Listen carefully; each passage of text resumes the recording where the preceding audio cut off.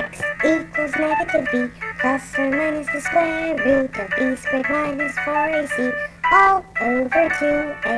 All the other ways to solve have times when they don't work. Formula will always resolve a problem that drives you berserk.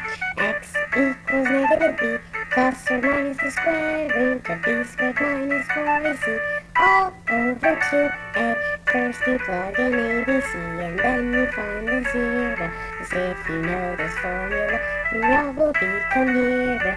So x equals negative b plus or minus the square root of b squared minus 4ac all over 2a.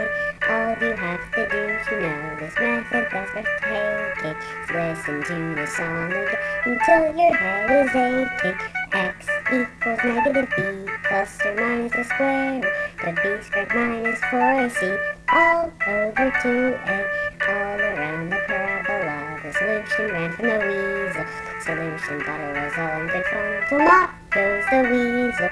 x equals negative b plus or minus the square root of b squared minus 4ac all over 2a. x equals negative b plus or minus the square root of b squared minus 4ac all over 2a.